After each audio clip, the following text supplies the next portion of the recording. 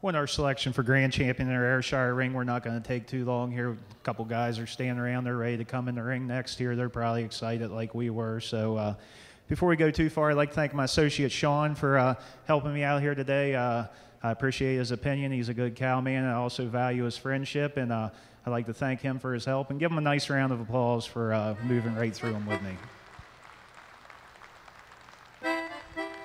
Our wives are sitting up in the stands. They've stayed the whole time. They haven't held any bad signs up or anything for us. So uh, I guess it hadn't been that bad for them either. But uh, Sean and I both have a little Ayrshire background. My parents started out milking Ayrshires years and years ago. Sean started out working on a farm with Ayrshires. And uh, so it's quite exciting for us to be out here today with these outstanding animals uh, to pick your Grand and Reserve Grand Champions. And uh, we brought the junior champion heifers back in here. and they are extremely good pair of heifers here. They're heifers that, that just come right to the front for us. You love to see them back in the lineup.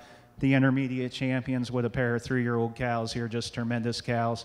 And then our three cows that were your senior reserve and honorable mention. Just uh, really an outstanding testament for the Ayrshire breed when you get this kind of quality back out here. And for us today, uh, we're going to stay right there with our senior champions. We'll be your grand, reserve grand, and honorable mention. Not to take anything away from the beautiful three year olds. We'll just give them a little more time to mature. But uh, Thank you, uh, World Dairy Expo, for allowing us to be here. Thank you for the exhibitors for bringing them out and the breeders for breeding them. Congratulations.